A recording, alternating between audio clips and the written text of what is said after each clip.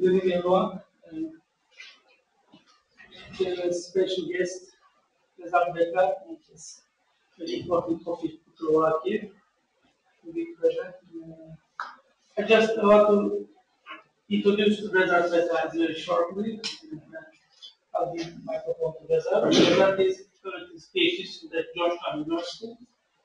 And he has two master degrees. The first one is from Italy, and the second one is from uh, Qatar, Hamad Islamic University. And uh, is prolific writer. Has three books in Albanian and many articles. Um, so,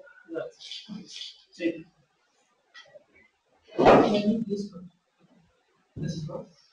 Is it on? I don't know. Yes. I have always problem with microphones. So uh, thank you very much, ILEM, for the invitation for being here today.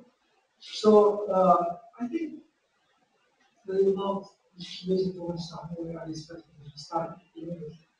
Normally, in the in the popular Western imagination, Saudi Arabia is often perceived as a traditionalist and religious society dominated by ultra-conservative and fundamentalist religious class, who is averse to any form of change or progress. And scholars have uh, countered this misconception have highlighted the dynamicity of the Saudi religious field by bringing as a concrete example the reformist movement of the Saudi Sahwa, right, revivalists, and its proposal of establishing a fiqh al-waqi, jurisprudence of reality or reality-based jurisprudence, as a conceptual framework to restore the relevance of Sharia in the modern times. Today, I will try to trace the intra-Salafi debates on fiqh al-waqi and unravel the various discursive strategies used by the non-Sahwi Salafi scholars to problematize the Sahwi conceptualization of the waqi, the reality, and to take its revolutionary elements by bringing them in line with the predominant Salafi religious methodologies. It is by contentions that the debates on fiqh al-waqia that happened in Saudi in the 80s and 90s especially, were enabled and rendered intelligible in the first place by the modern condition, the new subjectivities, and the novel social configuration created by the Saudi Western style modernization process. This process constitutes the field against which each actor involved in the debate tried to construct its position vis-a-vis fiqh al-waqia. Also, another point that I would like to make is that unlike the common understanding, the non-Sahwi Salafi criticism of fiqh al-waqi has been multifaceted and not only limited to materialist consideration or consideration of class and preserving power. Rather, in their analysis, Salafi scholars have, often offered a more nuanced conceptualization of fiqh al-waqi than the Sahwis themselves. And what, what I want to say is that often the non-Sahwi Salafi scholars have actually offered a recent criticism. People think that they are just terrorists who just can refuse the Sahwi understanding of the Waqia for political reasons or even for preservation of the status quo of the religious field in Saudi Arabia. Now, at this point, it's important to get to have a brief look on what the Sahwi were what were their contribution and how they emerged in the specific Saudi uh, context.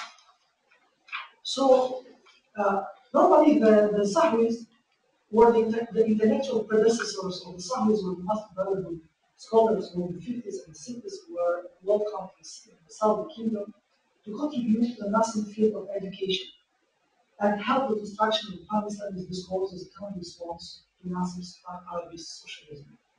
Simultaneously with Pan Islamist discourse, the Saudi kingdom promoted a modernization discourse based on the notion of tanmiyah wa injazat, development and achievement, represented by various modernist and leftist Saudi intellectuals who became the spokesman or spokesman for the kingdom development and modernization.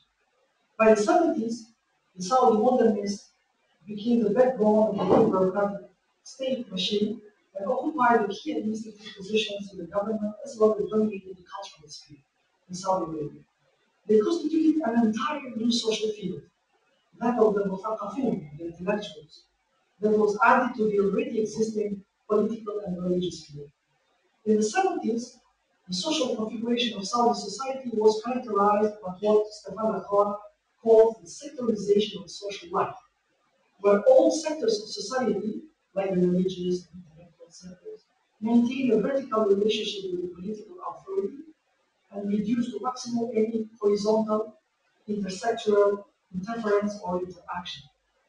In this way, reformist mobilization within one sphere of society finds it difficult to spread to other social fields.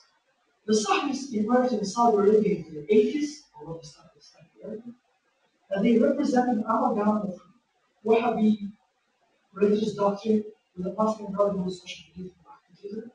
Historically, historically their, emergence, their emergence was enabled by the, social, by the economic crisis in the 70s, due to a drop in oil revenue, the Iranian Revolution of 79, and the rise of global Islamism as, as well as the disruption and the rapid deterioration of traditional Saudi social life caused by the modernization process. Its main advocates were young Saudi scholars and intellectuals who represented themselves as as حركة علمية إصلاحية سنية سلفية سياسية. So a Sunni Salafi reformist scientific and political movement. And its most vocal representatives were young scholars like Safar Hawali, Salman al-Awda, and Nasir Omar, two of which of whom are currently in prison.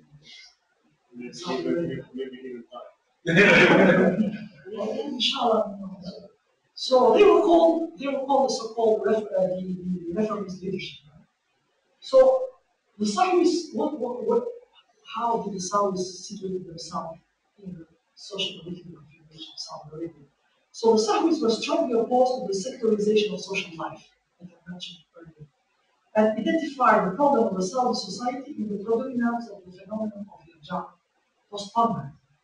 Now, uh, this is a theological concept, but in the particular Sahwi context, it refers to the Saudi secularist worldview that separated faith from ultimate actions. For the Sahwis, irja was the consequence of the modernist conspiracy to promote the separation of faith from social political engagement and to establish in this way the heresy of secularism and modernism in the kingdom. To this, Sahwis uh, juxtaposed the principle of unity of sovereignty, in which faith and outward works are considered intrinsically connected. Around the same time, the Sahwis criticized the Wahhabi establishment for being oblivious to contemporary social political reality and for being preoccupied only with frivolous renewed legal details of purity, tahara, and worship ibadah. Their negligence of fiqh al was seen by the Sahwis as the main reason for the uh, weakening of ulama's role in society and the proliferation of secularist conspiracies against Islam. Also, the traditional ulama were criticized for al-mana or the so-called intellectual secularism i.e. for unconsciously appropriating elements of irja in their religious methodology, or for being just ulama nas and not ulama waqi. In, uh, in order to respond to the above-mentioned perceived challenges, the Sahwis engaged throughout the 80s and the 90s in an intensive public campaign against the Saudi modernists and in a low-intensity war with religious establishment. In a short period, they, they created their own intellectuals and ulama and dominated the Saudi public sphere. Sahwa constituted a multi-sectorial mobilization that undermined the very essence of the social configuration of the Saudi society of that time by challenging liberals' monopoly over state affairs and that of the religious establishment over the religious domain.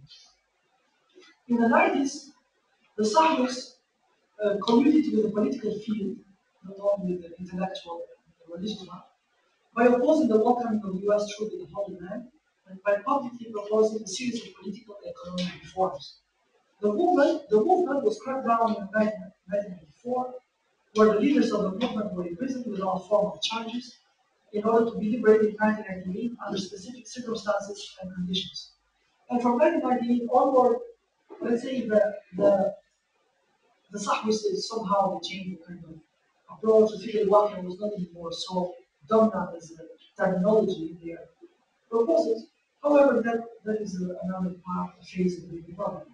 Now, uh, in 1992, Nasser Omar, one of the leaders of Sahwa, he publishes treatise called Fiqh al-Waqi Muqawwinatuhu wa Athharuhu wa Masabihi.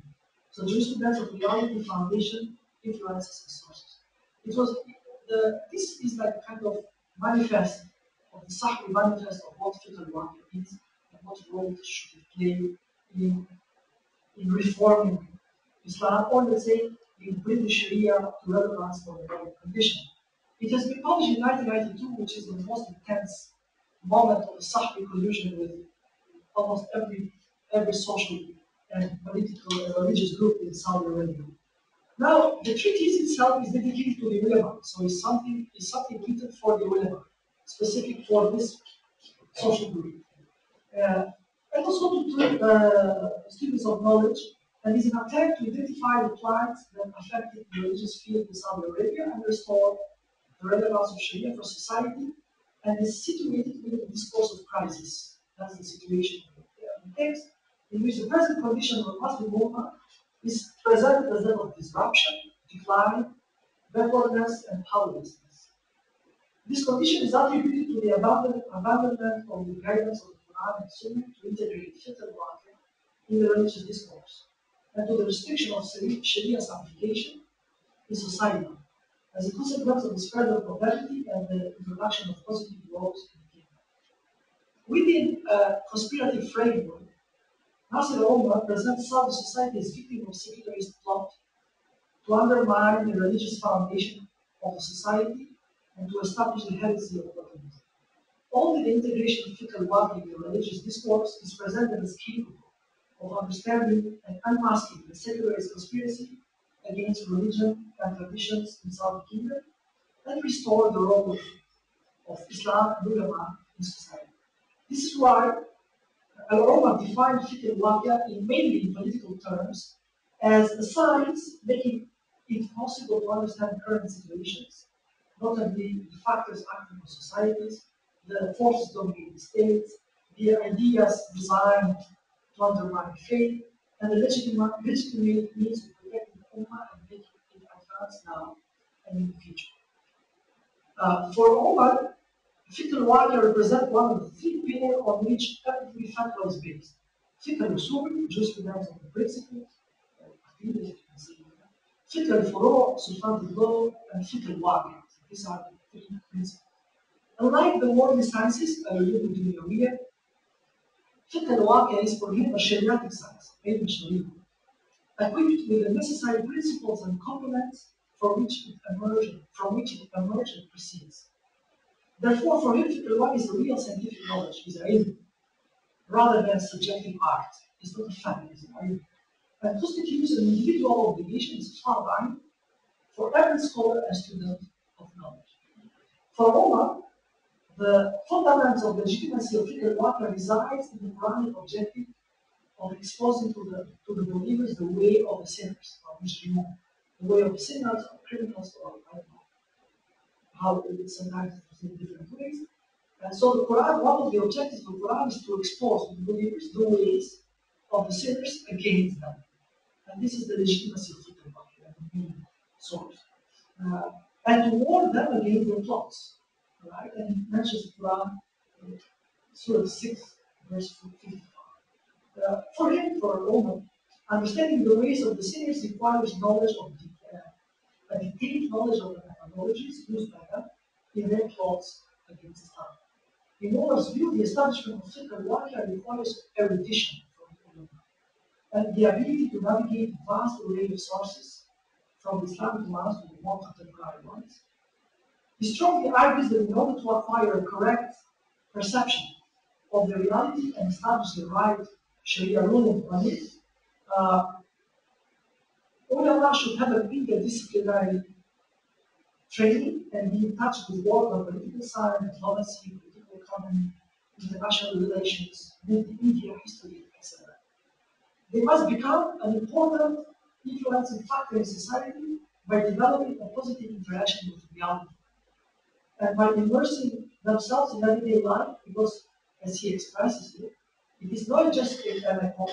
It is no exaggeration if I say, indeed, whoever stops following the advent for six months needs a long period before being able to get back in touch with evidence. In the particular Saudi context, Sahwi context, uh, This means that unlike, unlike political quietism of the Wahhabi establishment, Fiqh al requires from Muslim scholars to lead the call for social political reform and change. Uh, in Umar's view, the various secular disciplines that are fundamental to a proper understanding and construction of Fiqh al needs to have a Shariati grounding, Tahsil Sharia, Tahsil Shari. He argues that the empirical and positivist methods used by secularists to understand reality will take into consideration all the materialistic factors are both insufficient and deficient and lead to the misrepresentation of reality. Only how, a holistic understanding of social contingent reality under the transcendent and universal Sharia principles can yield certainty, can bring certainty. Therefore, Sahwi scholars, Sahwi ulama, or Sahwi intellectuals, are the only category that can legitimately establish the truth of a specific reality.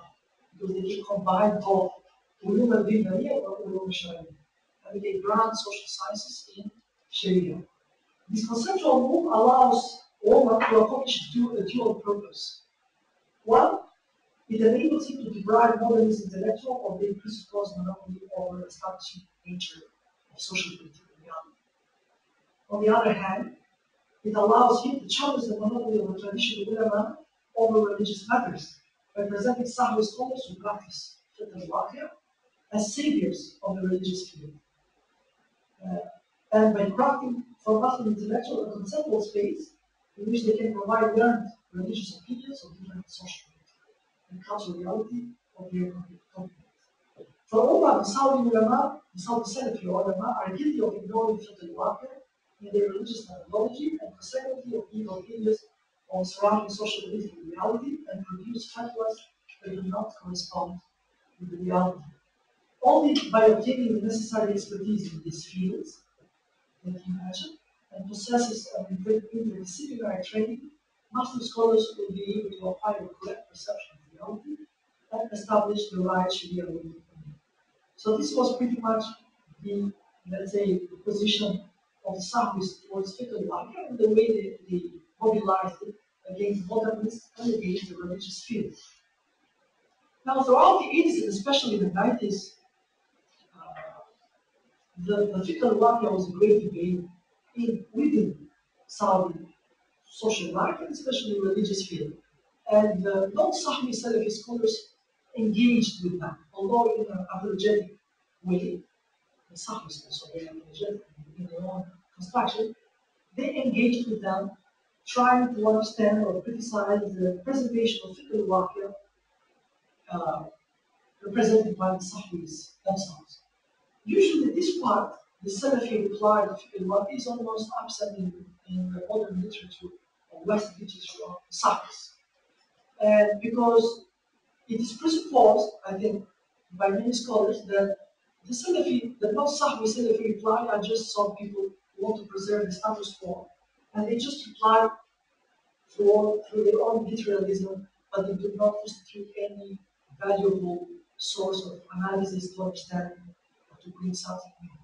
And it is my contention that actually if you see and study the books or the articles or the fatwas uh, issued by the non-Sahwi Salafi scholars and the criticism of the fiqh presented by Sahwis, you will see that they have actually offered a reasonable criticism. And the criticism it is not just literal, uh, it's not just based on literalist considerations, but it also involves akal and hikmah, and I don't know, pragmatism and so on, and also a kind of intuition of political and social realities of Saudi Arabia. So the, the, the, last part of my speech will be actually kind of synthesis of what discursive strategies used the non-Sahwi Salafi scholars to reply to the Sahwis and to try to bring them back to the Salafi manhaj, or even try to actually exclude them from the Salafi manhaj. So uh, I'll start with the first, so the first one of the strategy used by the is actually that of discrediting the origin and the legitimacy of the notion of fiqh So, uh, for example, in, in, in this word-by-word refutation of the Omar's treatise, Saud al-Muqaymi uh, construct a genealogy of fiqh al in which the notion is traced back to Western literary and political realism and Waqidi. In his view, the Egyptian Muslim Brotherhood appropriated realism from the Arab secularist literary scholars and political circles and passed it down to the Sahras. Such a genealogy of fiqh al serves a double purpose. For one hand, it relegates al to literary modernism. But in the South context, is represented by secularists and modernist intellectuals. And from the other hand, it traces its origin, its religious origin back to the Muslim Brotherhood, discrediting in this way Sahwi religious conventions in front of this Wahhabi Salafi audience. Whereas Salih Abdul Aziz al Sheikh, very Salafi scholar, traced the origin of the notion of fiqh al to Sayyid Qutb's commentary of Surah Yusuf, verse 55, in which Yusuf once uh, interprets a dream in front of the, of the king, is asked what kids he wants or something like that. And he actually asked him to be his Minister of Justice or something, or Treasury. Yeah. Uh, so, Sali uh, Abdulaziz Al Sheikh says the fiqh al the pedigree of fiqh al returns back to Sayyid Qutb. It's not in the pious salaf. Uh, because Sayyid Qutb, in this collective of this particular verse, divides Islamic jurisprudence into two categories fiqh al and fiqh al haraka. The jurisprudence of text, or paper text, and the jurisprudence of movement. Fiqh al-Haraka, the second one, is based on Fiqh al according to Qutb, uh, and consists in the attempt to establish an ideal Islamic society where people are willing to submit to God's sovereignty. For him, the establishment of the Islamic State is a precondition for the existence and the establishment of the jurisprudence of text in the law. Wahhabi scholars categorically, categorically reject Qutb's perspective and attribute it to the Sahabis, in order to highlight what they perceive as the inherent problems of sound discourse. And these giving de facto precedence to fiqh al-waqi over jurisprudence of text.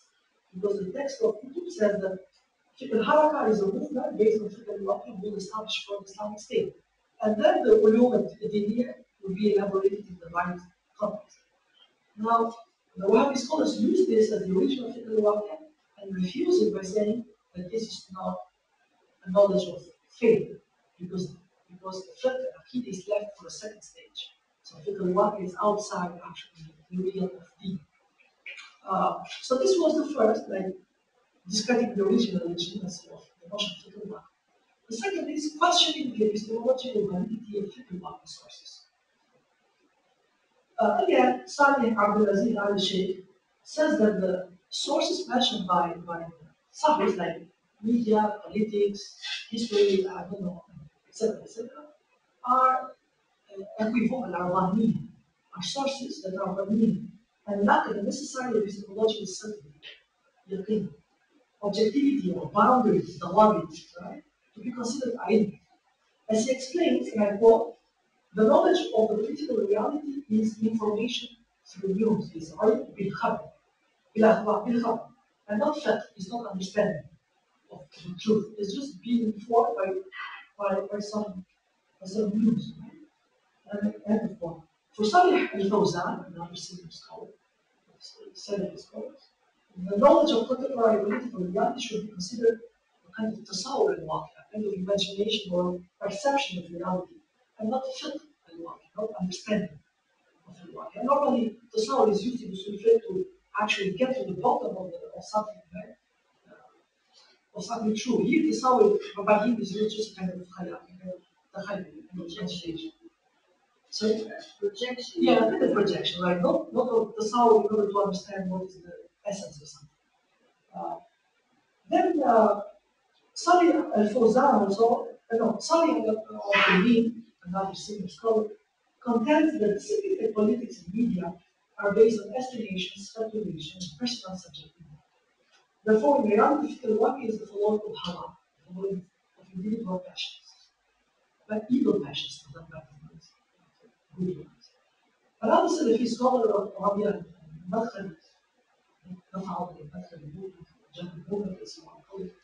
questions the neutrality of the sources of fiqh In his opinion, media and politics, this is from a book he uh, criticizes Sayyid In his opinion, media and politics in which Sahwi rely uh, originate from non-Muslim sources.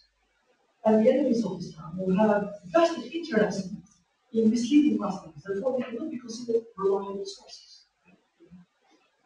And he actually replied back to the Sahwis because the Sahwis themselves based their idea of the right on a complot or on a conspiracy, right, of the modernists. And he's saying, okay, you are replying to the conspiracy by understanding what the, the plots are, but you are using sources that come from them. Therefore, by your own logic, your sources are not reliable. Uh, Nasruddin uh, again, one of scholar and uh, the uh, contends that the Sahwi request, and this quotation actually, the Sahwi request for the combination of fiqh al and kitab al-sunnah in a single person is impossible in utopia. In this regard, he says, Sahwi discourse obliging the scholars of the book and sunnah to be knowledgeable of certain economics, social science, politics, economic regime, methods of usage of modern weapons, etc. I do not think that exists any rational person who thinks that a single person can gather in himself all these various uh, sciences. Uh, therefore, this was part of the, of the epistemology, the and the third discursive strategy was actually question the Walker unitary approach to reality. As I said, one of the main contributions of Sahwis was actually saying that uh, uh, the, the, the, social field of Saudi Arabia is, is sectorized and there are sectors. They do not integrate with each other except they have a vertical relationship with political field that they obey or not obey from the context. And this is a kind of is a process is a result of the process of modernization and is a, a fragmentation of social life. Therefore, modernists are becoming relevant in the modern time in Saudi Arabia because this reflects the secularist approach towards reality when religion is uh, separated from the public sphere and each has its own so reality when operates. Therefore, through Tawhid al-Hakimiyya and through al we should integrate reality and reflect it in social field so that the Tawhid makes its own unitary approach towards reality or integrated approach for that matter. Now, some Salafi scholars have actually argued that the fiqh al of the Sahwis undoes what it claims to do, which means fragmentarizes the reality that is already unified. So uh, this line of, of reply goes like this, that uh, they have argued, for example, that the division that the Sahwis do of ulama al-nas and ulama al-waqi, scholars of the texts, literally scholars, and scholars of the waqi, or ulama shara and ulama al-waqi, scholars of law or sharia and scholars of the, of the, of the reality, in fact corresponds to the Sufi antinomian contrast between sharia and haqiqah, sharia and reality. Uh, for Madkhali, for example, uh, Sharia, according to the Sahwis, is perceived as an outward dimension of faith. Textual, scriptural, ulama, this is represented by wisdom. Whereas reality and hakika and waqia is the inward, the core of the truth, of religious truth and social truth. Therefore, is the inward aspect. And this is Sahwi ulama represent that. And this, if you go through the antinomian Sufism, it represents Sharia ulama and the Wahhabis, to ulama, and the to ulama the science. Uh, consequently, the inward ulama are superior to the outward one. Therefore, the Sahwi ulama are superior to the, to the scholar of Sharia. Another uh, Athari scholar and pupil, Nasiruddin Albani, Ali al-Halabi, he concurs, he agrees with Madkhali and what portrays the Sahwi approach to fiqh al-Waqi he calls it at-tasawwuf al-asri, modern Sufism and contends the Sahwi antinomian tendency parallels the modernist Western terminology of progressive versus reactionary. So progressive are all in the of wahya, and the reactionary are the of texts. Uh, where progress is equal with knowledge wahya, and reaction is the knowledge of spiritual deity. Now, what they're saying here is that is that in reality, you are claiming to bring a unitarian integrative approach to the religious discourse. and to the social criticism, but in reality you are actually fragmentizing the religious discourse by putting this antinomian, binary uh, analysis in which certain scholars are considered superficial, certain more uh, deep, and certain as representative of truth, and certain of just representative of the dimension. And this is the same problem that Sufis had, and this is why we have refused that to Salafi. And we are just repeating the same problem. The last one, the fourth discursive strategy, is actually questioning the status, the status, the religious status, and the obligatoriness of fiqh al Now, as I said, scholars of fiqh al are presenting fiqh al as fine for every scholar and uh, student of knowledge. Uh, now, some scholars, some Salafi scholars, uh, also many Salafi scholars actually, what they have done is that they haven't rejected al they have actually accepted it. But they have downgraded its religious status to fard kifaya, and not, and not fard ayn, so the community uh, the communal obligation, not to individual obligation. Uh, fiqh al in this context is just a supplementary aspect of fiqh of, of the fiqh of kitab and sunnah. It is not, is not an essential factor of it. It's just a supplementary knowledge.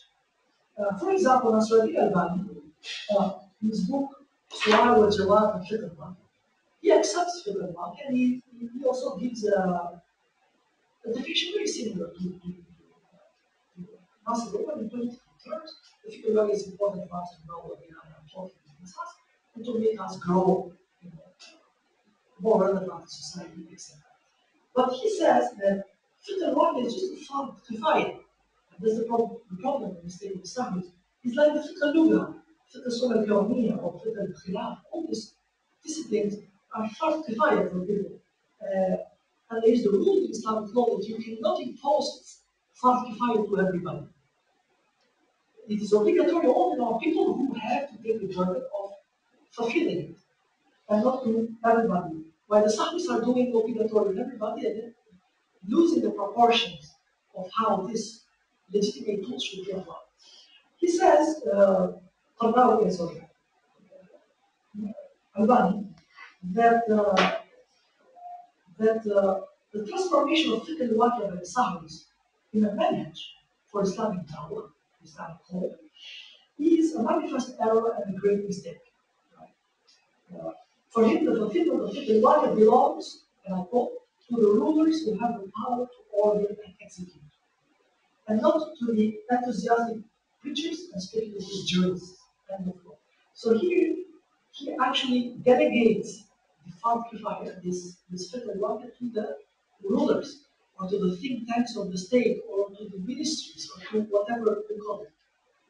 And he's doing exactly what the Sahwis were criticizing, uh, claiming ownership of a specific reality to specific social fields, saying, you know, this part of reality, political, social, history, is left to, to uh, state, ministries, I don't know, things like that.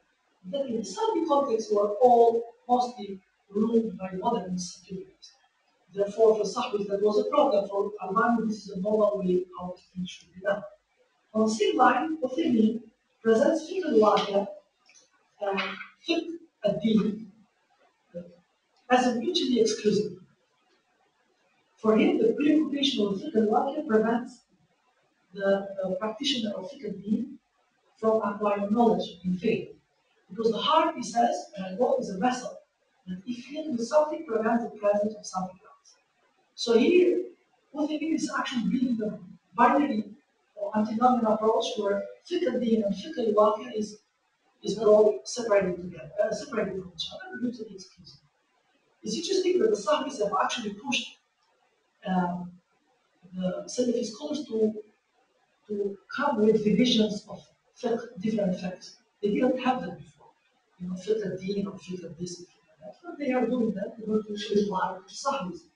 For him, for Uthaymin, there are only two fiqh, fiqhs.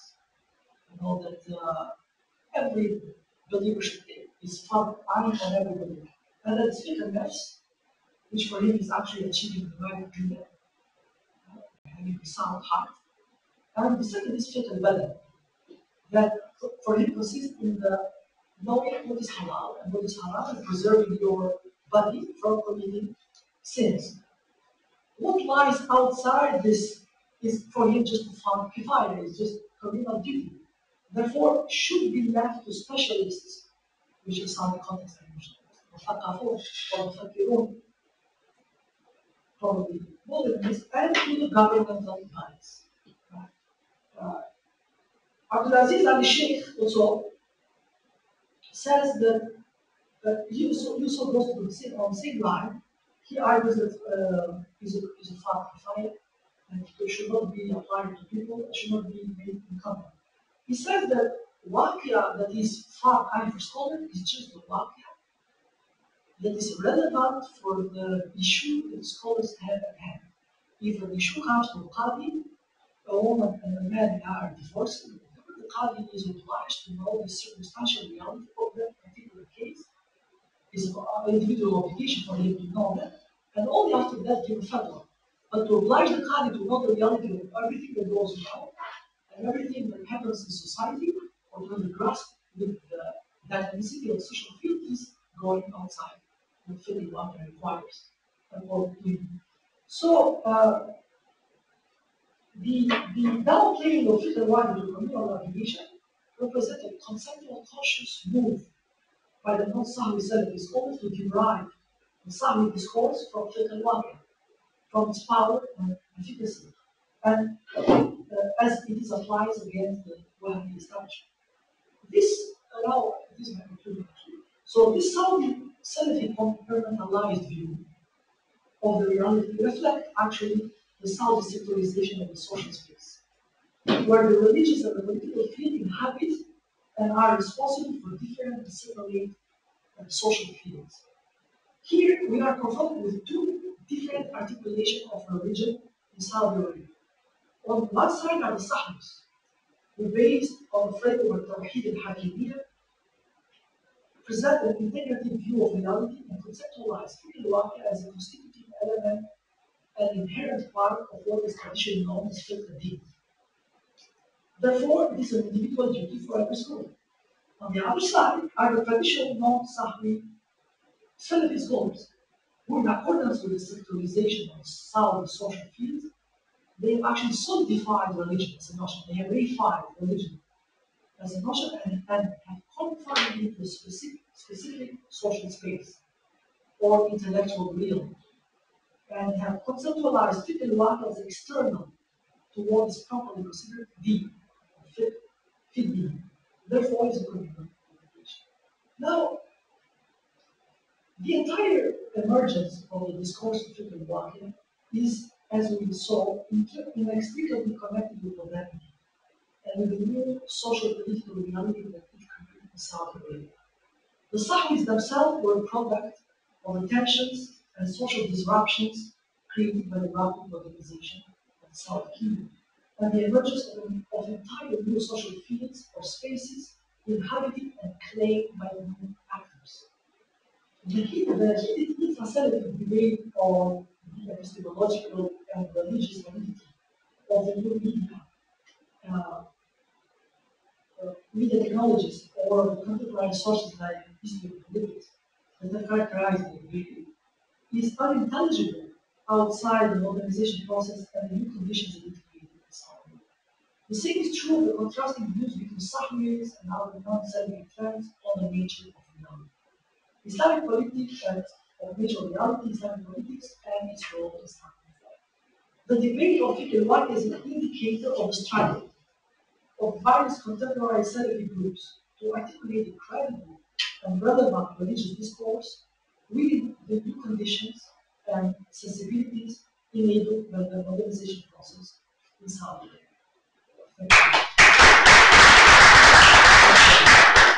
Okay, thank you. Uh, section. Any question?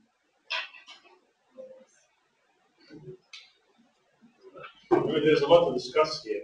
Um, first of all, thank you very much. Excellent presentation.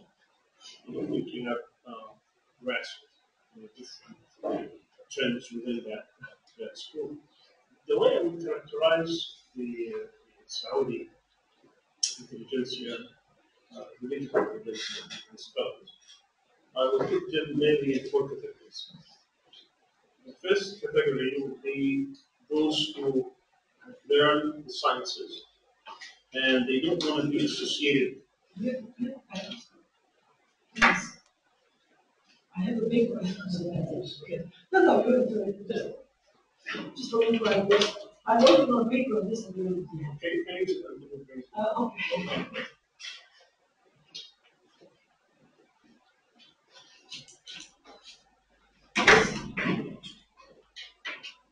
Um, so I would characterize that we have the first category, in which I would put them that those who learn various sciences, interested in religious education, they're not interested to establish any kind of relationship with the state, and therefore they want to be away from the pressure of the state.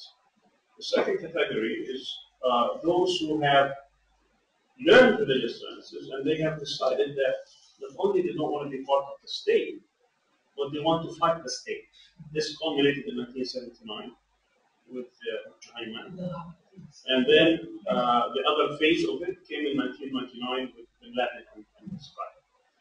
The third and fourth, they, they, they, they have the same background, but one has decided consciously to tie itself to the state. So many of these scholars, the way I'm, the way, the reason I'm doing this is to show another level that I would like to talk about and to include in your presentation. And that's many of these uh, positions, and many of these fatwas, and many of these uh, movements is very much tied to the, to the, to the Saudi state and government. There are those who are basically uh, manifestation of Saudi uh, foreign policy or Saudi domestic policy, and those who have decided that they don't want to support it, but they don't want to uh, be the same as a Qaeda, fighter. So how to, to, to maneuver this becomes a struggle. So those like Safar al-Hawali, you know, Salman al-Auda, and all these people come under this category. And maybe that the rest of Safar al-Hawali actually gives us a good uh, presentation or good uh, overview of what they stand for. So the political aspect is very much part of this. And I would like to see more discussion along these lines and how they are tied. And of course, the background also that there is a great struggle, obviously, with the Saudi royal family, is to establish their legitimacy. And they have started all kinds of different religious institutions and different and scholars to give them that legitimacy that they have been threatened with. Now they have been threatened by basically two forces. Obviously, Iran, since 1979, that came and Islamic revolutions and reform, and at, at one point it presented a, a real uh, challenge until obviously this, this rise of sectarianism has, probably put this threat a little bit. And the second major threat came with the, not only with Muslim Brotherhood and Islamic movements and what happened in Turkey, but this whole debate about the role of the people in making decisions, democracy, rule of law. Uh, Arab Spring obviously was a great, great challenge, and that's why they, they mobilized all their sources and became so clear now who is on which side. And that's what actually these people, you know, basically they tried to represent that without going and challenging directly the, uh, the, uh, the rulers. So when we talk about fiqh al you're basically talking about how to adapt modern political, social, and economic problems into this, uh, to build a paradigm into this kind of dynamics, so that you can say uh, this is where I stand in terms of Islam. Islam. And obviously, this is not new. I mean, uh, this every Islamic movement that wanted to reform and they were seeking political change. They had to deal with this in a way that they would be, uh, uh, for the most part, uh, criticized by those who claim that they have the, the, the, the, higher ground and you know, all this is nonsense, this is you know, this is this is not real science, this is this is something that others, you know, so they try to uh, to, to, to uh, downplay or downgrade this so that they can justify the, the, the, uh, the existing. So this is just a, a small characterization. Um, so what I would like to say, again, the other thing is what is what are the basic what are the basic characteristics of those, you know, so if, if you were writing a dissertation on this, I would have a chapter in which I would give the real distinction between these three different classes.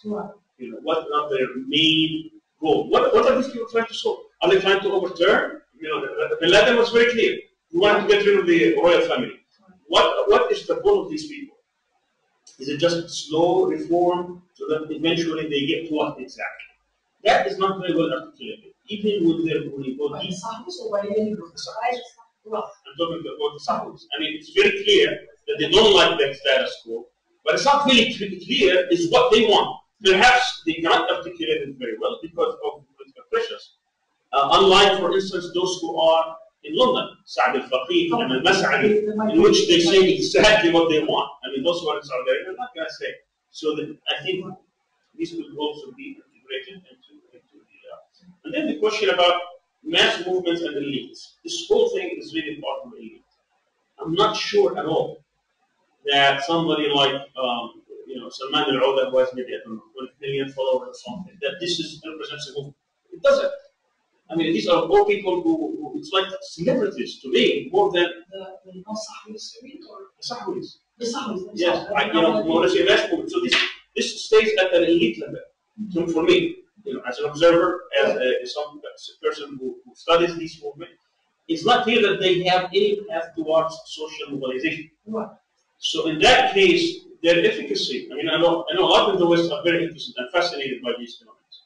But unless it turns into a social movement for change, it's going to stay at that level, the level of elites.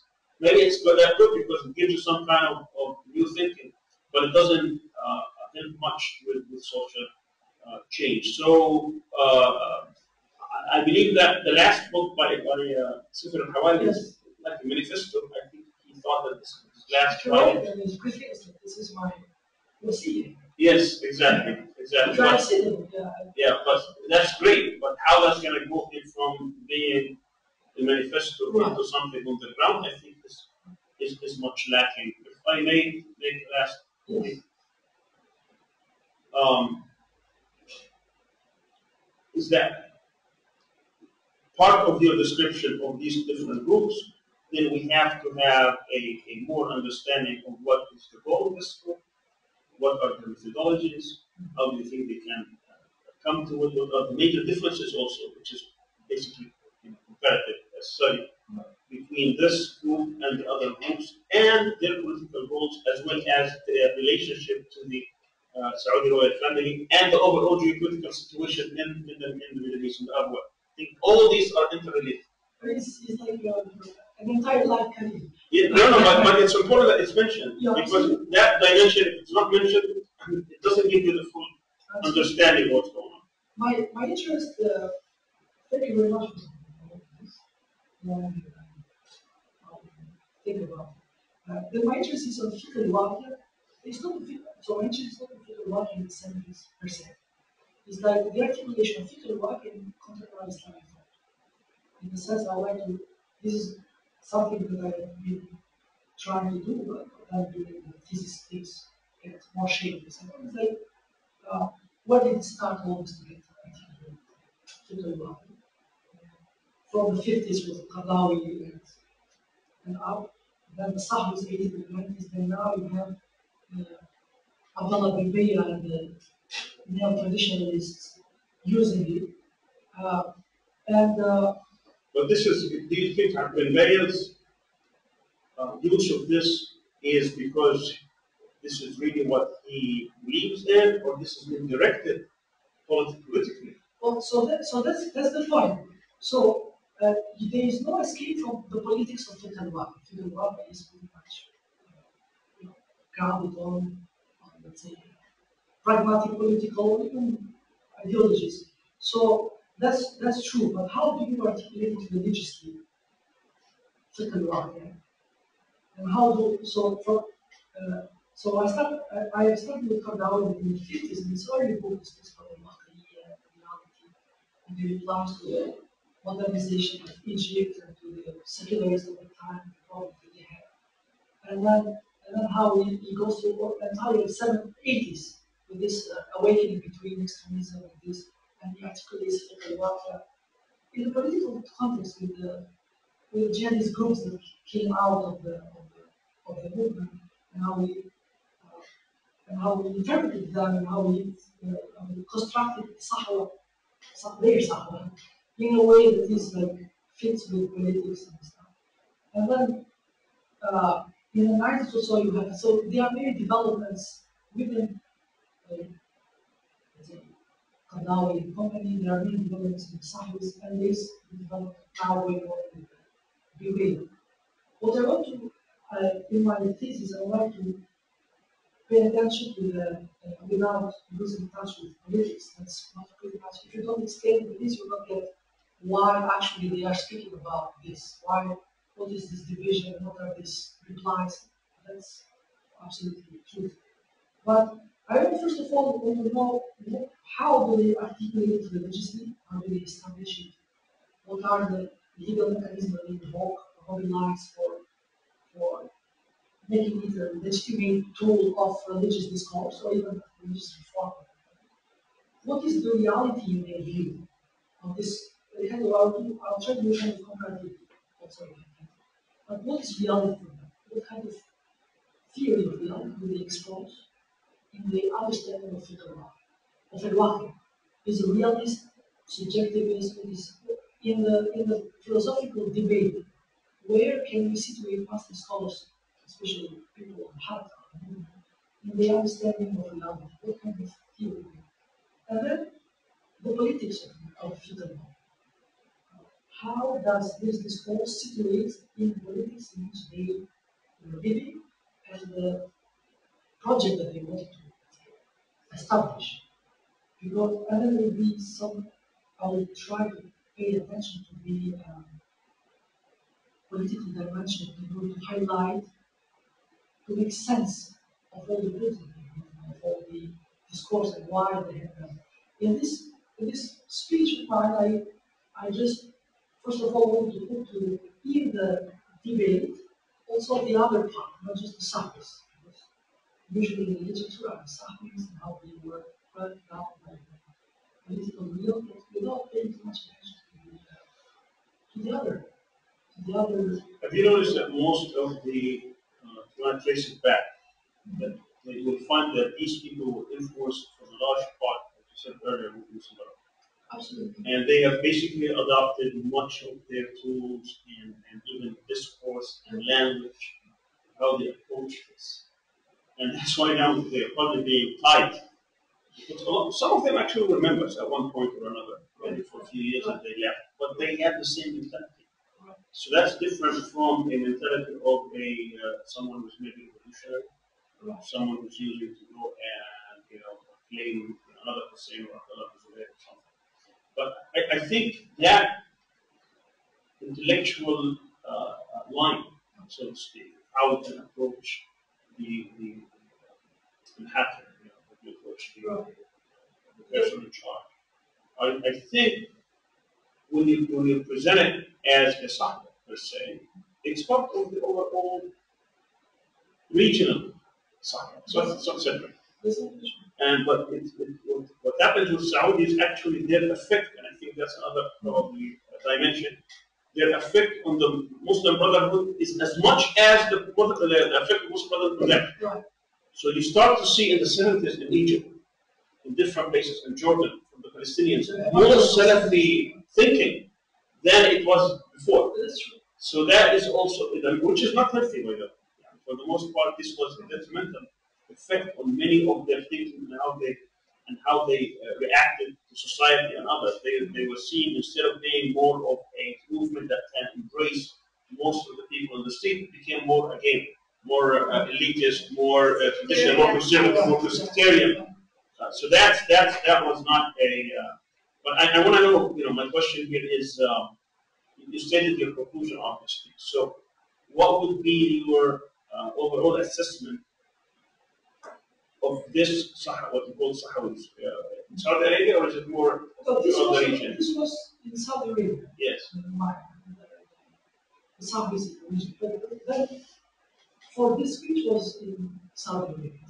Because even the scholars who But your dissertation is also uh, centered on Saudi Arabia or wider? so my, my dissertation would be the main topic will be fiqh al-waqi in contemporary Islamic law. And I, I will try to, but I just, I will I'll try to concentrate on three, let's say, moments or three articulation. One is the Qardawi and his entire writing corpus from the 50s to the 90s mostly. Because after that, fiqh al-waqi didn't develop too much, just pretty much the same. And how it interacted, how was established discursively, what discourse of fiqh al-waqi how what was the politics of fiqh al-waqi against the state, against the jihadist groups of that time, Egypt, etc. Then the second war, the second let's say moment is the Sahwis 1890s, uh, Simon Howard, and Nasir And also the same thing, how they established fiqh al-waqi, what was the purpose, and what is the religious justification and political context in which they came. And what was the debate? What can we learn from the debate that happened between the two groups? What we understand? And then the fiqh al-waqi of post 9-11 moment with big data and, and company. Because they also have replied to a specific moment in the entire thing. And it will be interesting to see, they never, as far as I said, they never refer to each other. Despite they using very similar So you concentrated on selfish because these, you know, I am part of that debate. Right. And the, the two most important uh, thinkers were none of these when it comes to the law. Aside from Qutb, Said Qutb basically produced something, was not part of the debate. He, he came.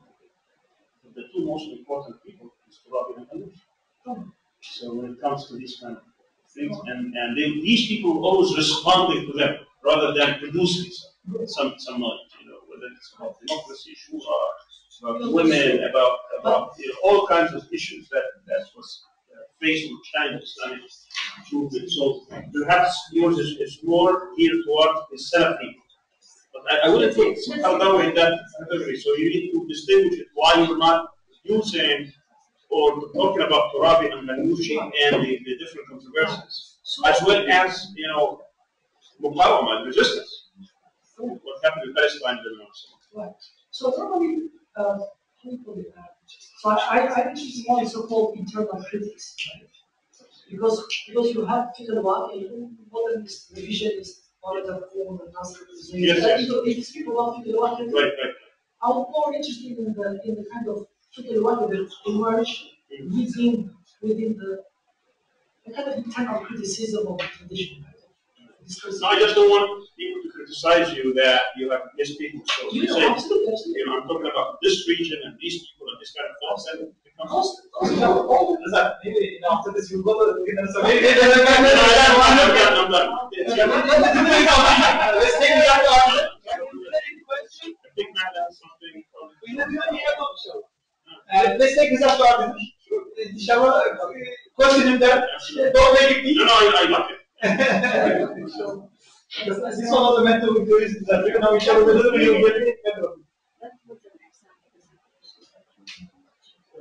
so much. Thank you so much for coming with us.